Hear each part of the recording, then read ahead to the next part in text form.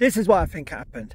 And this is my final version of what I believe has happened after spending five days out in this area as well as another four, five, maybe six days, I can't remember what I spent searching different areas again. I've put everything through my head, decided all the theories don't match up and came up with what I think is working. So, his friends pick him up from Yorkshire, they drive out, they uh, stop at Loch Dochard for the first night, uh, first day, Saturday afternoon, whatever, and pitch all together there by that tree, right? There you go. Because that's the tree stump and that's the pitch site. Obviously the tree's behind the pitch site, but it doesn't look at it from it from there. Next morning, they wake up. They have no weather forecast. They don't know bad weather's on the way it's either changed or they forget to check. I don't know what's happened. But anyway, they set off, all three, for 90 minutes along that awful path going up and up and up and down to Glen Kinglass.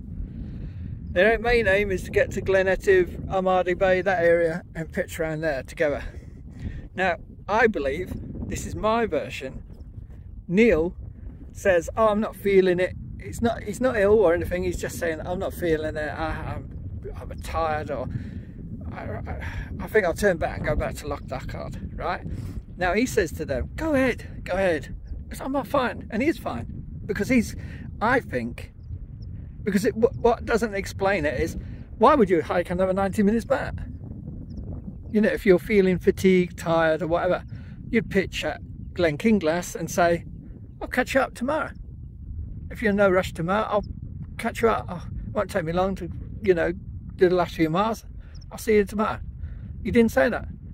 He says, you go ahead, I'll go back to Loch Dochard. Right. That's a giveaway for a start.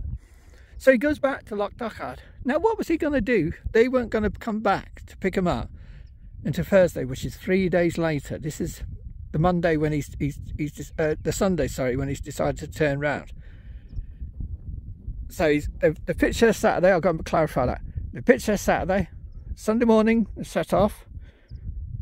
90, 90 minutes in, he's decided to come back, right? So that's another 90 minutes back. So that's three hours. So whatever time they set off, let's say they set off at 10. Three hours from 10, it's one o'clock. That would give you kind of the time when someone saw him about two o'clock-ish head out the tent. So he's probably just set up tent, pitched it, probably heard someone his head out or he's doing things, you know what I mean? Now, so that's Sunday Sunday afternoon. Now the point is, that's Monday, Tuesday, Wednesday, Thursday. That's four days. They're going to come back. What was he going to do for four days? He was not going to sit at the loch for four days just twiddling his fingers. He didn't decide to say, oh, I'll catch you up and go back down. He said, I'll wait for you to come pick me up. So what was he going to do? I think Neil didn't tell everyone, but I think Neil thought he was going to spend three or four days here just enjoying himself. Just do like we all do, you know what I mean?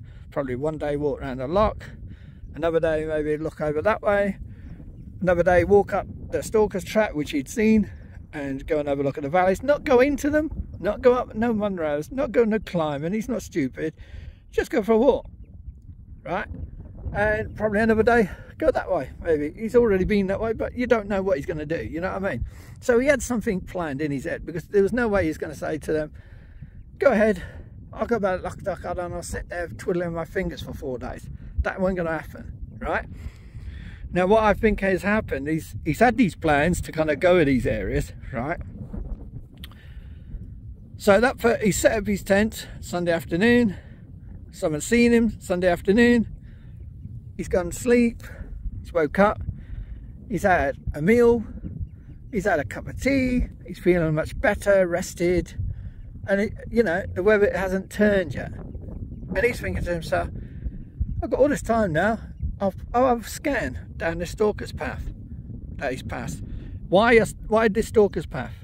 He's got three options without tracking photos. He can go that way towards that plantation where we pitched the first time he can go along the track that way where he spent three hours during the day going, which I don't see him wanting to do. Sorry, my finger was in the way. Or he can spend about 40 minutes. He don't know it's going to be 40 minutes, but some 40 minutes down here, down the track.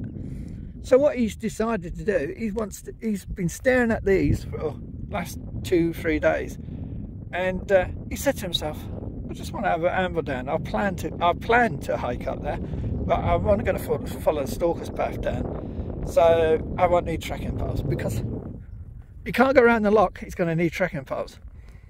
He can't go in the woods or anything like that. It's too clumsy. Once you're in the woods, you need trekking poles. He can't go to the car to pick any other gear up because once he's passed out the plantation where we pitched first time, he's going to need trekking poles. It's been dry this year, but normally it's boggy, messy, marshy. This is the first time I've ever known it to be so dry and easy to walk on. But you can guarantee it wasn't like that last time he came, when, when he was here, sorry.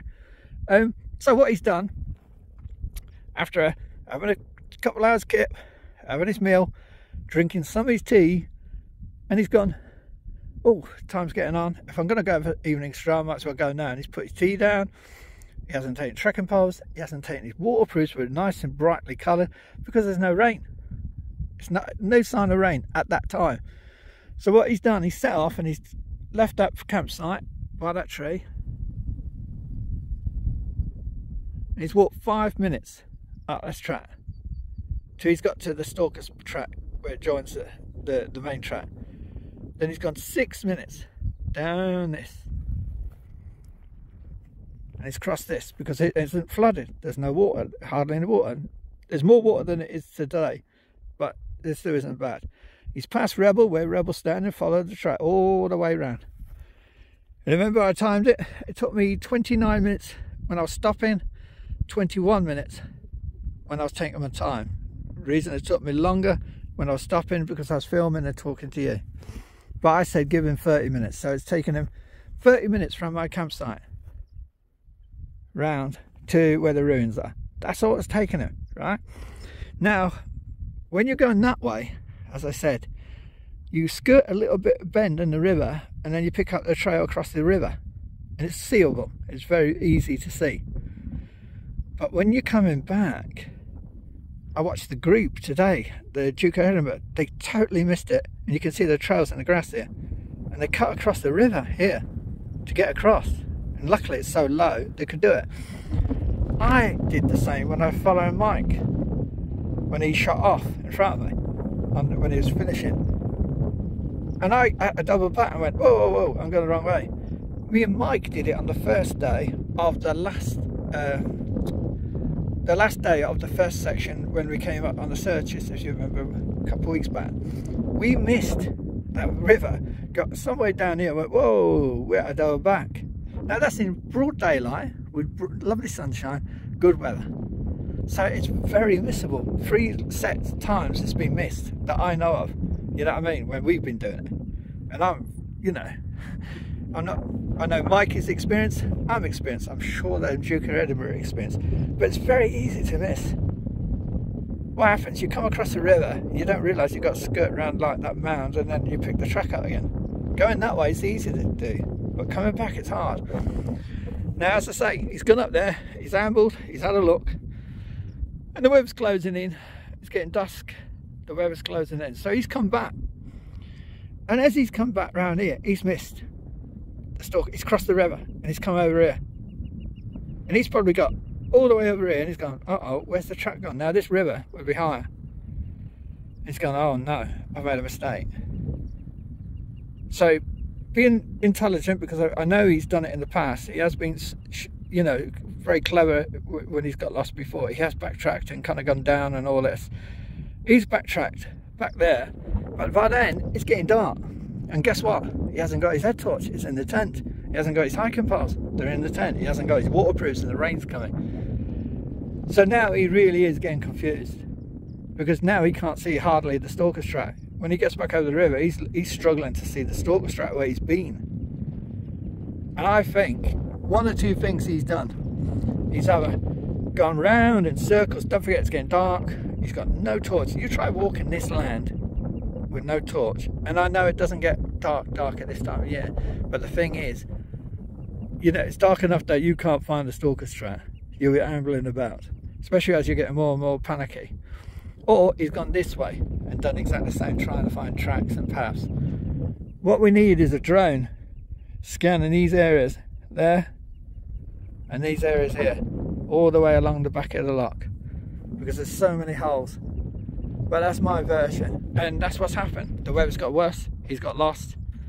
He's, he could have been around there. He could go around in circles for hours if you if it's dark and the weather's closed in. Don't forget, if the weather's closing in, it's darker than tonight and the last few nights I've had.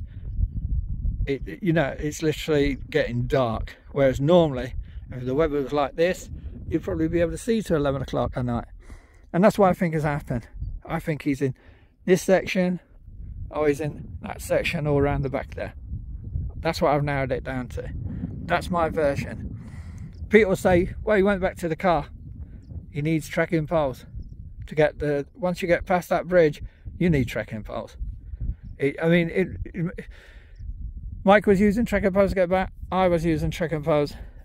When I had the Barrett, obviously, I was taking my time and I was struggling. But don't forget, we're in, we've had like three weeks of drought weather. You know what I mean? So everything's gone hard and crispy. But uh, when I was coming up, I used trekking poles. He wouldn't have gone up that way, as I say. He just spent three hours going up there that day. And to go much further than the bridge, as I say, you need trekking poles to amber around the bridge. There isn't many places you can go. Clashgour Farm, in the plantation you can't get in there it's it's dense you'd be a fool to try and walk through that you know what i mean you'd be on your hands and knees up the gorge i went up there as far as you can and then you hit a, a waterfall that's like that so you can't get up there and he's definitely not done no munroing because again you need trekking poles. Even to get out that gorge you need trekking poles because there's a lot of holes. Hence i think he's in this section or this section. And I know we've covered a lot of this section and I've covered a lot of that section but trust me there's so many holes and so many ditches so many boulders I was finding like uh, you saw a cave I found one near some trees um, honest it's just a maze you, you you could be walking past them within 10 feet and not see them so that's why I believe what's happened so, that's 15 minutes I've discussed. Hope I haven't bored you, but we're going back. Uh, well, I'm going to try and find somewhere else to pitch tomorrow. If not, I will be going back tomorrow because I've covered everything I can by, you know, by uh, with us. We need a drone, something that can hover out and cover more land really quick and low down. Um, only other, there's always the final alternative, isn't there? For some reason he fell in the water or got washed away down a river and he's either in the loch or been flushed down to Loch Tulla. I'd like to not believe that because the police teams and all that and divers and people I'm sure would have picked him up by now. So I think he's still lying in these areas. I don't think he's gone no Munro. I don't think he's gone in the valleys. I think he was tempted because just like me, since I saw them valleys, it draws you. I think he planned in future to hike up a little way like I did last few days. Just go and have a look at it. Nothing crazy. So that's my assumptions. That's my final conclusions. I'll probably be proved totally wrong. but we have to have our own views. And I'm not saying anyone else's views are wrong. I'm just giving my views. I'm not trying to clash with anyone or anything like that because I'm sure others will have their own views.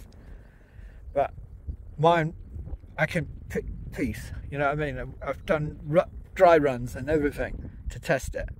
So it can be done. And you do not need trekking poles down that stalker's path. Right. hopefully I haven't bored you. But hopefully I'll make sense to those that are interested in the subject those are going to do future searches and uh, the family i hope I haven't you know caused any undue distress talking about this but i'm sure they would like some answers and i'm giving my conclusions and my assumptions and what i believe might have happened so i hope that helps you know what i mean and if this area is covered with drones or a drone at least, and this area is covered with drone and the back, around the back there, then, and nothing's found, then I've been proven wrong. You know what I mean? We'll have to see. If no one can get up with a drone, then I'll have to purchase one and I'll bring one up by September, somewhere around there. Next time I'll probably be up here. So, unless he's found. Hopefully he's found by then. It's been over a year now. Let's just hope. If he is deep in the in the loch, we might never ever get any answers, sadly. Unless some divers are going to go in. Right, back to my dogs. Did you see, I was, as I was chatting to you, Rebel was coming to the edge of the grass and waiting for me. It's amazing, isn't it? I always think he's the clown, but he's the most loyal out of the three. I mean, Stella used to, would be like that, but now Stella's old, she just wants to rest. Right. That's it for now. I'm going to feed the dogs and settle down for the night in a bit. Bye for now.